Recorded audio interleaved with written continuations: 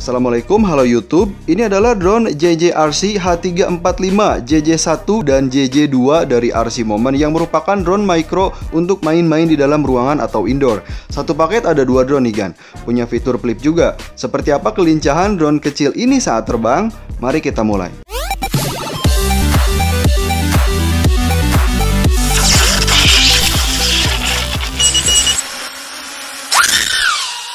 Unboxing dulu ya kan?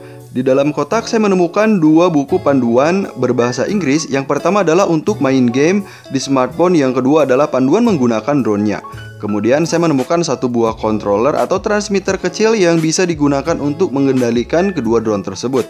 Terdapat dua stick, tombol on off, kemudian ada tulisan JJRC dan ada e, lampu indikator kecil ya di bagian atasnya.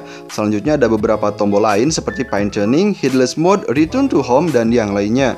Sementara pada tombol bagian depan yang kiri digunakan untuk mengatur speed dan kanan untuk masuk ke mode flip. Dan transmitter ini harus menggunakan tiga buah baterai tipe A3. Selanjutnya saya menemukan satu buah kabel untuk mengisi daya baterai dan empat buah propeller cadangan. Selanjutnya ini dia gan. Drone pertama yang saya tunjukkan ini adalah JJ2 yang ukurannya kecil kemudian lengannya bisa dilipat.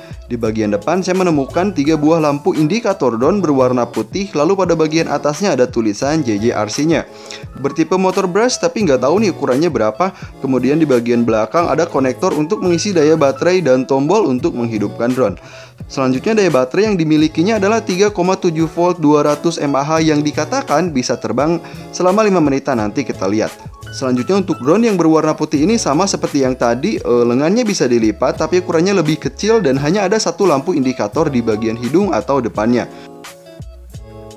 Oke, itu semua yang ada di dalam kotak. Sekarang mari kita lihat kelincahannya saat terbang, kan?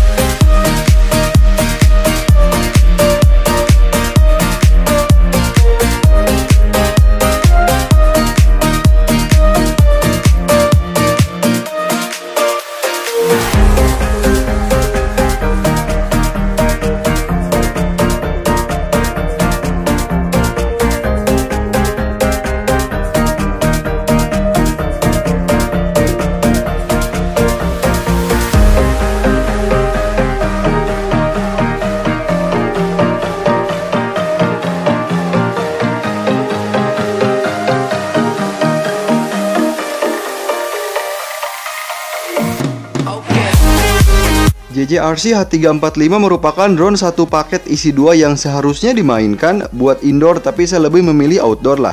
Bisa dibilang drone ini merupakan tiruan versi mikronya atau versi imutnya dari DJI Spark yang berwarna putih dan untuk yang warna hitam tiruannya DJI Mavic Pro ya kan.